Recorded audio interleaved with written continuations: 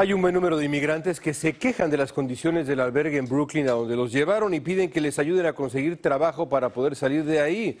Mientras tanto, activistas protestan por la presencia de autos de la patrulla fronteriza. Dicen que es una amenaza directa a la seguridad de los refugiados. Fabiola Galindo nos informa desde Nueva York.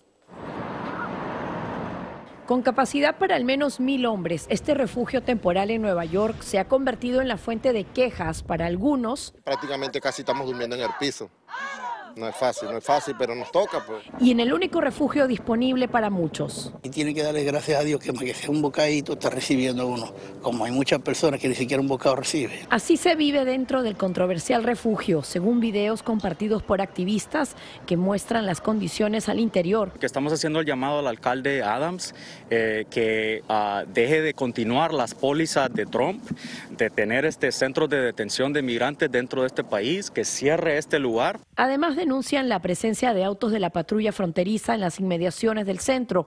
Ya hemos visto dos veces camionetas de migración uh, manejando alrededor de acá.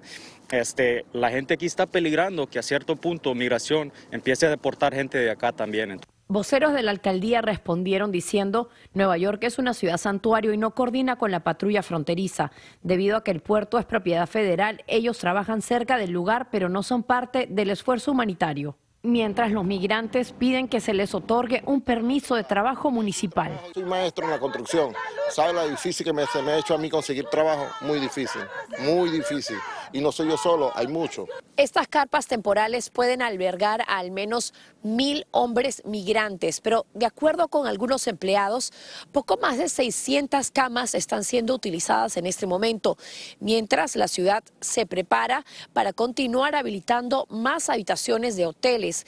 Esas solo pueden ser utilizadas por familias completas.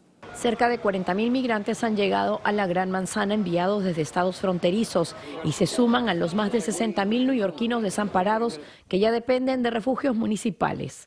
En Nueva York, Fabiola Galindo, Univisión.